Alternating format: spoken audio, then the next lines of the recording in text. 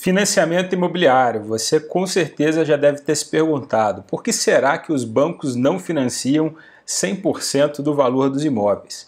Ou talvez você já tenha se deparado com alguns conteúdos aqui no YouTube, aqui na internet, dizendo que o banco vai começar a financiar 100% dos imóveis, mas esse financiamento nunca aparece ele nunca chega.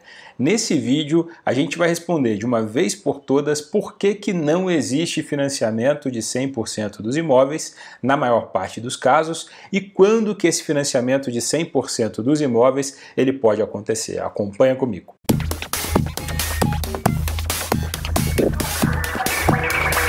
Fala pessoal, tudo bem? Bruno Lessa novamente aqui no canal do Portal VGV, trazendo novidades, informações sobre mercado imobiliário, financiamento imobiliário, crédito, investimentos, enfim, esse canal onde todos os dias de noite a pauta é imóvel. Se você ainda não se inscreveu no canal, te convido a se inscrever e acompanhar com a gente todos os dias esses vídeos.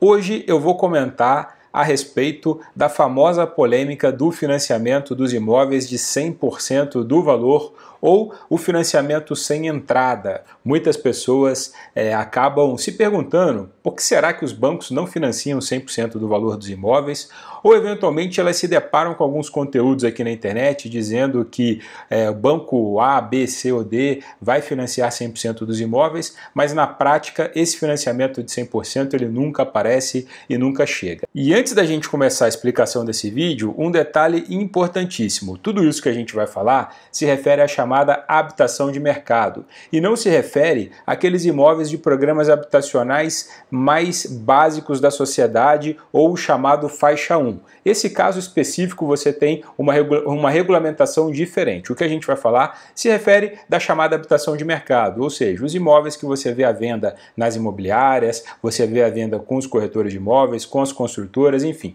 os imóveis que você vê à venda no mercado de uma forma geral. Afinal de contas, existe ou não existe existe financiamento de 100% dos imóveis? E eu vou responder essa pergunta não com base somente na minha resposta, mas eu vou colocar na tela para vocês um trechinho da fala do presidente da Caixa Econômica Federal, que é o Pedro Guimarães, onde ele mesmo explica por que, que a Caixa não financia 100% do valor dos imóveis na maior parte dos casos e quais os casos que a Caixa financia 100% do valor dos imóveis. Acompanha comigo aqui. E muita gente me pergunta, Pedro, por que, que vocês não vão até 100%? O Banco Central por uma regulação correta, no meu ponto de vista, limita 90% do valor de avaliação. Por que, que nós, nos imóveis retomados, emprestamos 100? Porque a gente tem alguma perda e a gente devolve essa perda para a sociedade. Então, nos imóveis retomados, ao redor de 10 mil, nós podemos financiar tudo, 100%. Bom, como vocês puderam perceber, isso não acontece porque existe uma resolução do Banco Central que impede que as instituições financeiras elas ofereçam um financiamento de 100% do valor dos imóveis, da totalidade dos imóveis. Ou seja, o financiamento pelas instituições financeiras, ele é limitado a 90% do valor de avaliação desses imóveis. E por que isso? Essa é uma medida que visa trazer muito mais segurança para o ambiente de negócios de uma forma geral, quando a gente fala em concessão de crédito.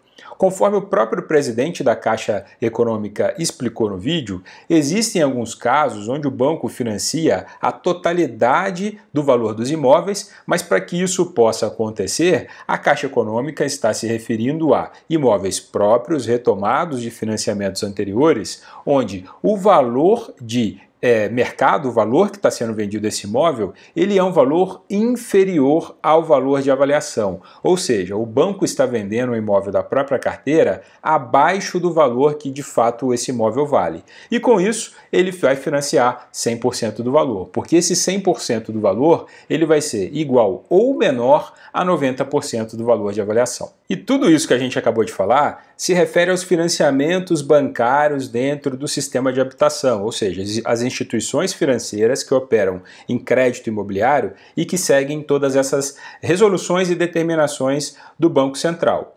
Porém, E se eu não tiver o dinheiro da entrada, se eu quiser financiar 100% do imóvel, existem outros sistemas de financiamento? Existem outras alternativas? Sim, existem. Nem sempre são as mais vantajosas, porém é uma questão de avaliação de cada um que está fazendo essa aquisição. E que alternativas que seriam essas? Diversas, como por exemplo o financiamento direto com o vendedor. Quem está te vendendo este imóvel, se essa pessoa, essa empresa, essa construtora tiver alguma modalidade de crédito próprio, pode ser que ela faça para você esse financiamento seguindo ali é, os próprios critérios. É uma questão de avaliação, porém, isso traz muitos riscos e a gente sempre recomenda que você consulte um profissional para avaliar corretamente até que ponto que isso vale a pena, até que ponto que isso está corretamente documentado e até que ponto que isso pode ou não pode te favorecer.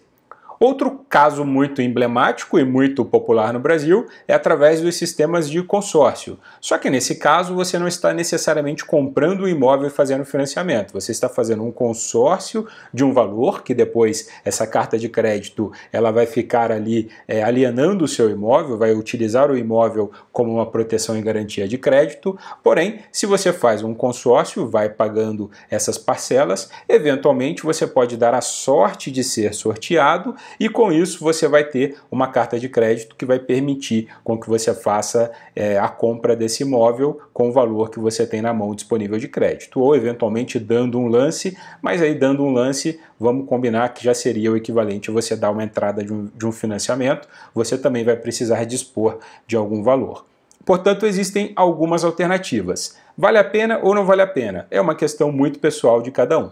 O que a gente sabe é que os financiamentos bancários convencionais, eles trazem muita garantia tanto para comprador quanto para vendedor e eles também oferecem taxas de juros que são muito atrativas. O caso dos consórcios, você não tem taxa de juros, mas você tem taxa de administração e precisa sempre lidar com esses momentos de mercado, porque se você faz um consórcio hoje e dependendo a sua carta demora dois anos para ser contemplado, Pode ser que daqui a dois anos o imóvel esteja num outro preço, ele tenha se valorizado bastante, ou quem sabe você até não encontre aquele imóvel que você tinha naquele momento que você estava querendo fazer essa aquisição. Outra possibilidade seria fazer um crédito pessoal, e aí você tem diversos tipos de crédito pessoal, alguns lastreados em imóvel, como é o caso de home equity, você tem o CDC, que é o crédito direto para o consumidor, enfim, você tem alguns outros instrumentos de crédito onde você pode pegar aquele valor, tendo condições condições e tendo a capacidade é, de financiamento para isso,